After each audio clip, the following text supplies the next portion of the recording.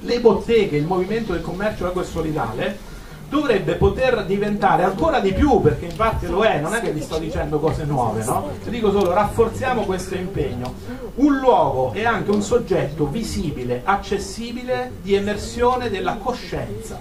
Io credo che quando c'è coscienza tu vedi la realtà, vedi i valori, vedi quello che è accettabile e quello che non è inaccettabile.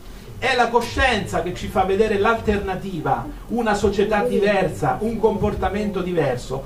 Quando siamo senza coscienza ci troviamo a dire sì sì bello però è impossibile. Sapete quell'espressione di scetticismo che ci viene a tutti sulle labbra, anche a noi, quando diciamo caspita però le difficoltà sono tali, di tempo, di energie, di scordinamento, quante difficoltà?